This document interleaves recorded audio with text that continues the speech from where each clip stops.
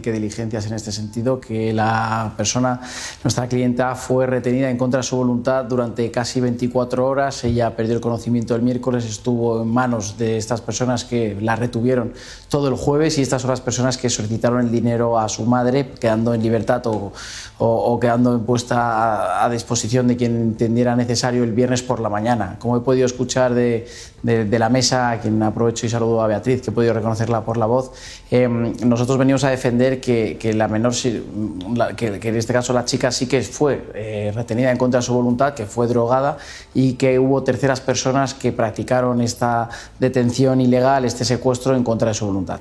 Eh, Juan, pero tengo entendido que eh, de lo que se le acusa a esta joven es de haberse compinchado con dos amigos, con su novio y un amigo, para eh, pedirle dinero a la madre. Eh, ¿me, ¿me, puede usted confirmar que dos días después ella aparece en casa de la madre con el novio? Quiero decir, ¿uno se va a ver a su madre con la persona que supuestamente le ha secuestrado?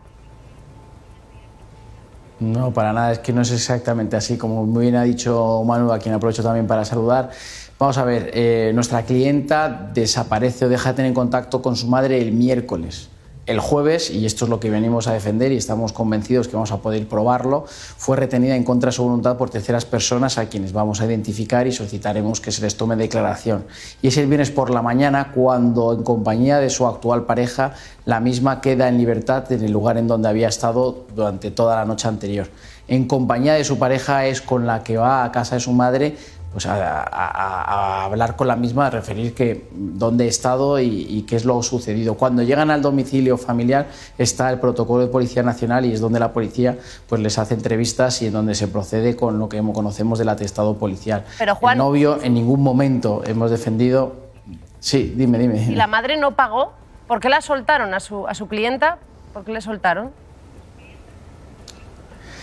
Bueno, como creo que ha sido Beatriz quien lo ha dicho anteriormente, no estamos ante profesionales, yo creo que estamos eh, ante personas que, que, se les ha ido esto de madre, ante individuos que haciendo el mal pensaban que iban a conseguir un dinero aprovechándose de nuestra cliente y, lo, y, y quien consideramos que es una víctima más de esta situación, nuestra cliente y también su actual pareja. Inclusive a lo largo de la investigación policial, nuestro cliente y su pareja hablaron con su madre, es decir, eh, a lo largo del fin de semana estuvieron eh, dialogando y conversando sobre lo sucedido. Por lo tanto, yo no haría mucho hincapié en nuestra clienta y su pareja, sino en las terceras personas que realmente cometieron este ilícito penal y estamos convencidos que se va a investigar y esclarecer lo sucedido. Pero usted sabe que ha habido dos personas que han confesado que en realidad esta joven no fue secuestrada y por otra parte me llama la atención que los supuestos secuestradores supieran hasta los céntimos que tenía la madre en la cuenta. ¿Esto cómo lo sabían? Los céntimos. Bueno, esta afirmación no es exactamente así. La persona quien dicen que ha confesado es eh, precisamente la actual pareja de nuestra representada y precisamente su manifestación con la policía eh, cuando aparecen es intentar explicar en dónde han estado, de dónde la ha encontrado y dónde ha tenido lugar todo lo sucedido. Por lo tanto, yo no haría mucho hincapié en lo que tenemos encima de la mesa. El atestado policial eh, lo tienen todos ustedes, lo hemos conocido, se practicaron la vista de libertad que recoge la ley sobre mi clienta, sino que yo el foco lo centraría ahora en las diligencias que hemos solicitado, que son la geolocalización del teléfono móvil, las antenas durante esos, mm, esas más de 72 horas en las que nuestra representada no estuvo en conocimiento de causa, no era consciente de lo que estaba sucediendo. Y es ahí en donde vamos a hacer mucho Pero, hincapié Juan, en que fue privada de su libertad en contra de su voluntad. ¿Cómo sabían los supuestos secuestradores el No dinero que tenía la madre en la cuenta?